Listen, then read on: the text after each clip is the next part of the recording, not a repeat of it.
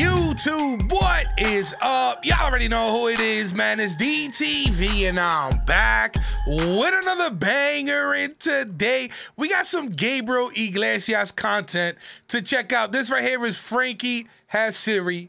I had collect calls. But before we go any further, I need you to do me a solid. If you could drop a like and a comment on this video for the algorithm, I would greatly appreciate it. But uh Y'all ready for this one, man? Let's run it, baby. Let's get it. Let's go. I look forward to problems. I like problems because if there's problems, Frankie and I can work on it together to find a solution, right? And I see that as a great form of bonding. Now, don't get me wrong, you guys. Sometimes it's expensive. Yeah, you're laughing, let me tell you. like one time they took his iPhone from school and he comes home and he's all devastated, right? He's like, Dad, Dad, I gotta talk to you. I'm like, What? Tell me what? They stole my phone. I'm like, That's why you're talking. and I started laughing. He goes, It's not funny. I go, You have no idea how funny it is. I go, so what happened, Frankie? So they, they broke into my locker at school and they took my iPhone, they took my friend's iPhone, and if we go to the school right now, we can fill out a report. We know exactly who did it. Can we go to the school right now? I go, listen, Frankie, I'd love to, but I'm really, really tired. I just got off a flight, and I guess, you know, I'm, I'm really, really tired. I promise you tomorrow morning I'll take you early, I'll help you fill out the report, and we'll turn it in. Can we go right now? I go, Frankie, seriously, I'm just, please, tomorrow. I need my phone. I go, listen, Frankie, you can handle one day without your phone. He's not getting his way. So he turns around and he yells at the ground and he goes, They took my phone! I looked at him and said, Hey, you took my freedom. You don't hear me screaming. oh, shit. I just accept big it, facts, process big it, facts. and we move on. That's it. So then he asks, What's gonna happen? I go, Well, I'm gonna go upstairs, take a shower, and probably go to bed. No, what's, what's gonna happen if I don't get my phone back? I go, That's a good question, Frankie. I don't know. You're not gonna get me a new one? No, dude, I already got you a phone. It was your responsibility to take care of that phone. It's not fair. I go, life's not fair, Frankie, okay? But things happen. you should get me a phone. Dude, seriously? And then he looks at me and he says, and this kind of messed with me. He goes, You should get me a phone. It's nothing for you to get me a new phone. Damn. It's nothing for you to get me a new phone. Bay Area, my son thinks that what I do is easy. He thinks it's easy because all he sees when he attends one or two shows per year is that I walk out on stage, you guys start chanting, and then cool magically appears in his room.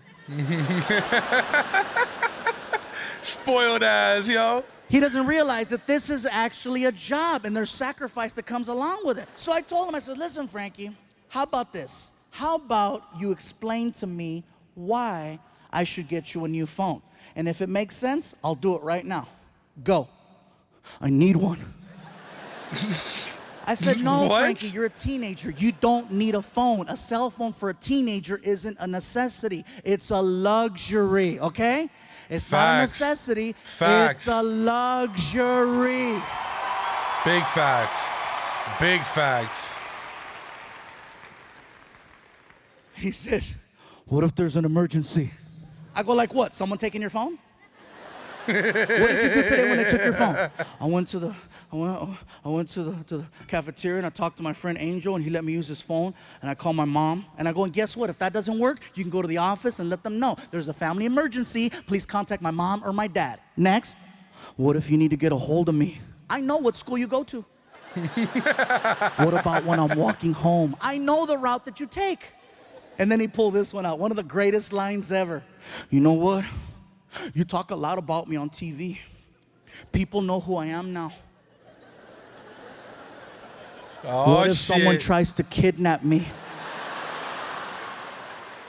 I said, You weigh 225. Good luck. Let's go. Yo, that'll be a struggle, son. Like, that'll be a fight. That'll definitely be a fight, bro. Come on. That's grown man weight right there. You feel me? They are not kidnapping your ass without an iPhone and a box of Oreos. That's the only way that's gonna happen. I said, Frankie, do you realize how lucky you are? You had a phone. Oh, phone. shit. I didn't have a phone in school. Your mom didn't have a phone in school. If we needed to make a phone call, we had to carry change or we had to call collect. What's that? Oh my God. Trying to explain the concept of a collect call to my kid is like trying to explain rocket science. He'll never have to deal with it. He'll never know what it's like to be out late somewhere and have to use a phone. First of all, to find a payphone. Right, If you right, see a payphone now, you look at it like, oh wow, they forgot to take it down. right, right, right. Get your camera, take a picture, because that gone. Take a picture. He'll never know about staying out late at night and having to use one of those nasty phones and taking off that receiver. You know the nasty one that has gum and gonorrhea all over, right? You gotta keep it far away from your face so you don't get infected. He said, he said, government gonorrhea. Bro, dead ass. I remember the payphones, yo.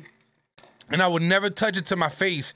Cause it was gross, bro. This shit was dirty. I don't know whose face it's been on. You know what I mean? So it would literally be like at a distance from my ear. And it's and it, it was hard to hear, you feel me? Cause the phone was far. You didn't want the shit to touch, bro. Damn, I forgot about using the payphones. Holy shit. And then you make that phone call. You know that freaking when you make a collect call back in the day, it was expensive. He's not gonna have to do that now. Back in the day, if you made a collect call, it was a mission. It was a mission and it was expensive. If you called Right. my mom collect, it better have been life or death. Yo, oh, that's what it was gonna be. facts.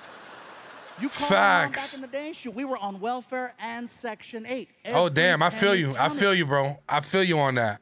Called my mom back in the day, shoot, we were on welfare and Section 8. Every penny counted. Right, right, right. up, I get it. Hello? And then she get the presentation.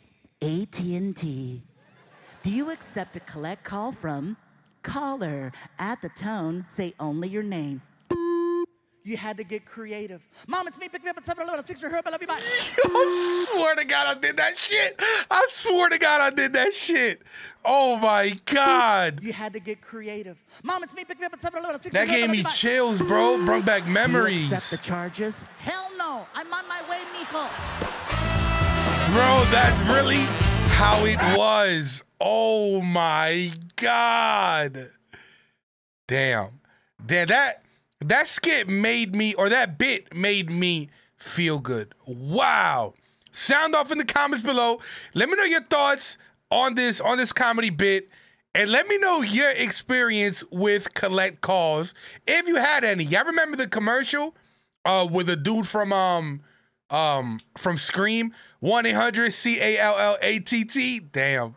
That's a throwback, yo. That's a throwback. But anyways, I'm gonna end this video right here. If you made it to the very end, you the real MVP, baby. No cap. If you enjoyed this video, y'all know what to do. Make sure to like, comment, share, and subscribe. Thank you for watching, gang. I appreciate y'all. Love y'all. Peace.